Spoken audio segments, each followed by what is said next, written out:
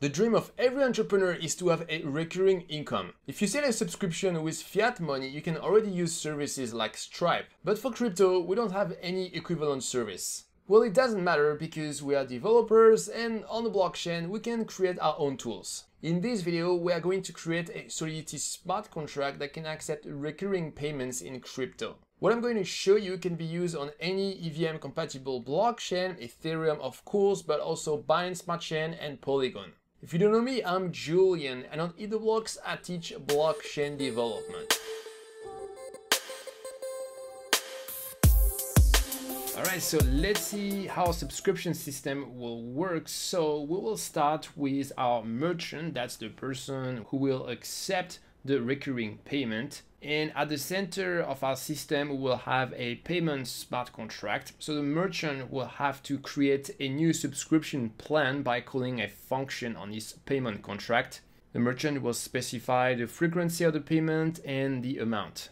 Later, a buyer will subscribe to this plan and we're going to assume that the payment will be done with an ERC20 token for that, the buyer will need to call the approve function on the smart contract of the token so that the payment smart contract is able to spend tokens on behalf of the buyer. So here you have different solution. Either the buyer approve a small amount to cover the first few payments and later, as we advance in time, the buyer called the approve function again so that all the subsequent payments can be made. Or the other approach is to call the approve function with the infinite number for the amount, which means that the payment smart contract can spend all the token that belongs to the buyer. It's more dangerous because if there is a flaw in the payment smart contract, the buyer can lose all of his token. But in terms of user experience, it's also easier because in this case, you just need to call the approve function only once. After that, the buyer will call the subscribe function of the payment contract. The buyer will specify which plan it's subscribed to,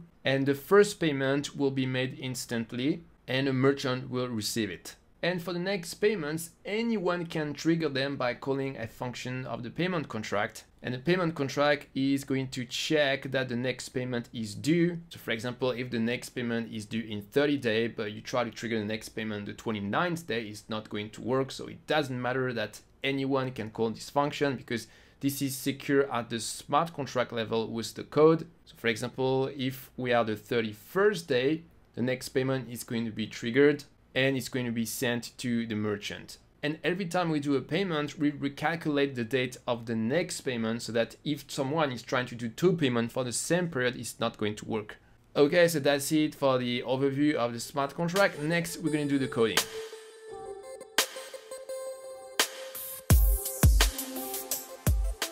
Alright, so we're gonna do the coding. So this is the GitHub repo of Eat the Blocks, and this is the folder for this project. So here, this is a truffle project, and we have our smart contracts in the contracts folder. So here we'll go in payment.sol.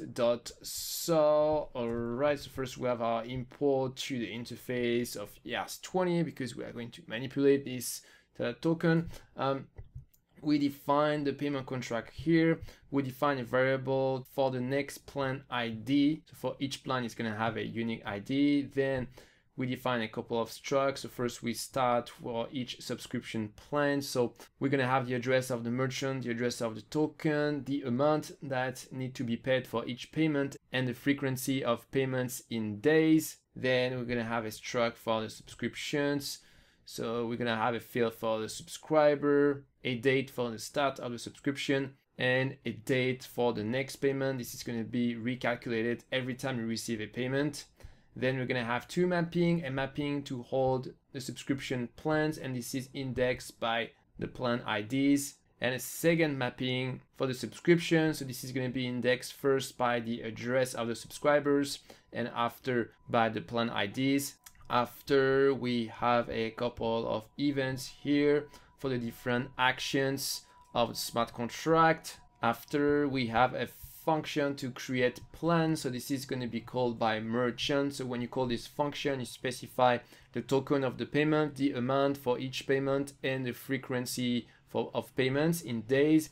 So here we do a few sanity check. We check that the address of the token is not the null address. The amount needs to be superior to zero and the frequency also needs to be superior to zero. Then here we are going to instantiate a plan struct. So we give it the address of the merchant, the address of the token, the amount to be paid, and the frequency. And by the way, uh, I made a mistake before. I told you the frequency is in days. This is actually a timestamp in second.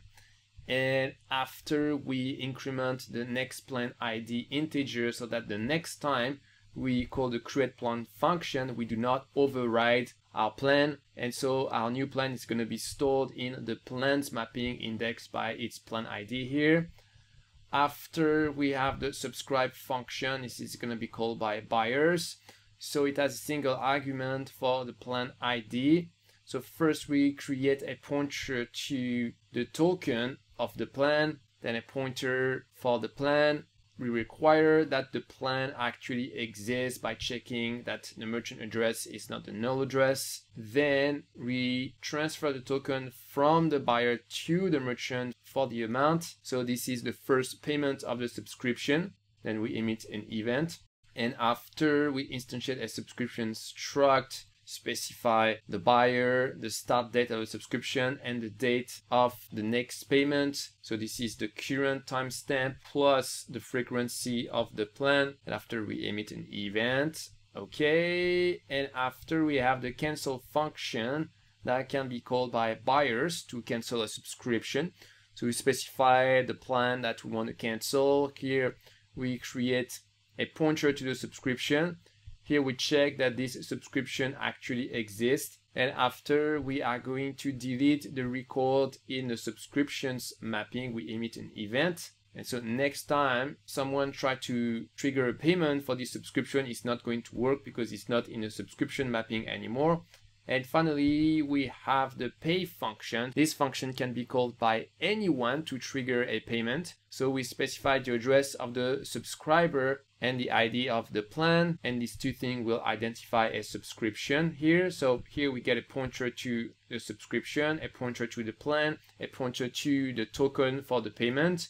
We check that the subscription exists we check also that a payment is due, so we need to be after the date of the next payment. We do the actual token transfer here.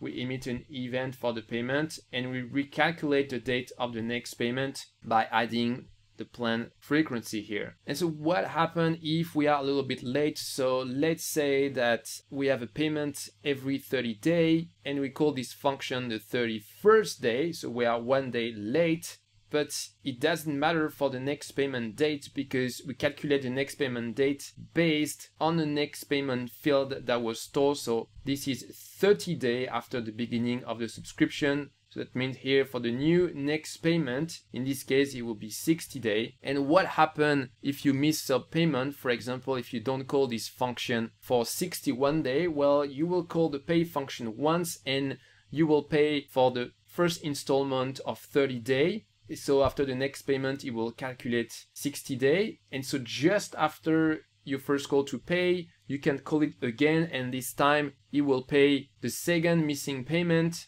etc. until you catch up with all the due payments.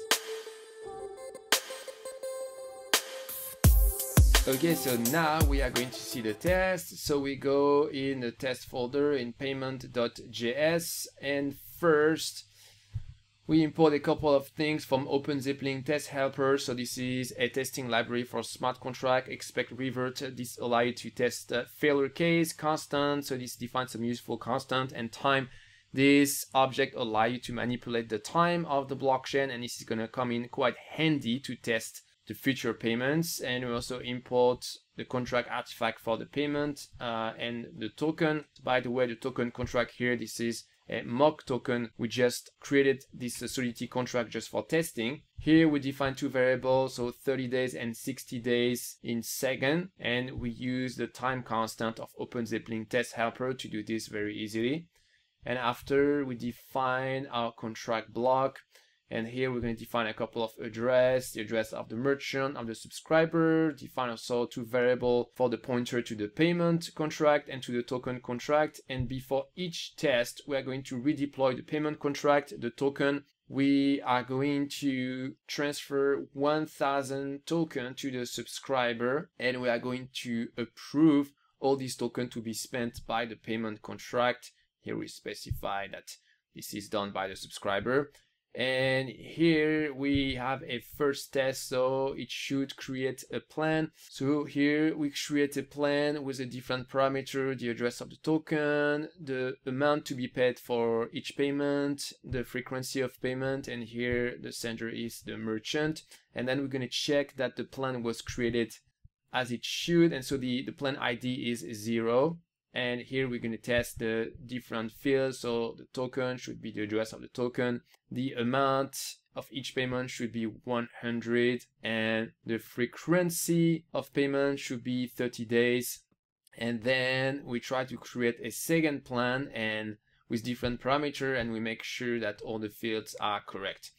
After we need to test the unhappy path. So when the required statement are triggered so here, if we try to create a plan with the zero address for the token, we're gonna have this error message. Uh, here, we try to create a plan where the payment amount is zero. So we're gonna have another error. And finally here, the frequency is zero. So it's gonna be yet another error.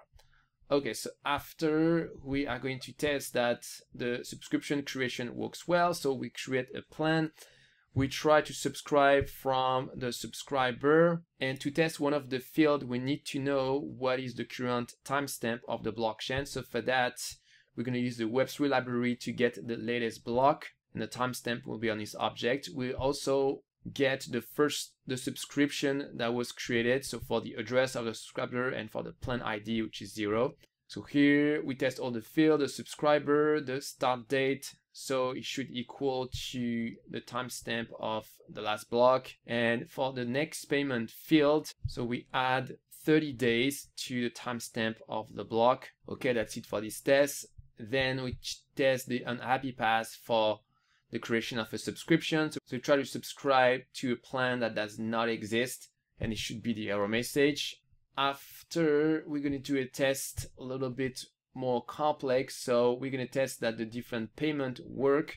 So here we create a plan from the merchant and we subscribe from the subscriber. And we're going to test that the first payment was sent. So we get the balance of token for the merchant and the subscriber. And so the merchant should have received 100 and the subscriber had 1000 token initially. So he should have 900 now then we are going to artificially increase the time of the blockchain with the time.increase function.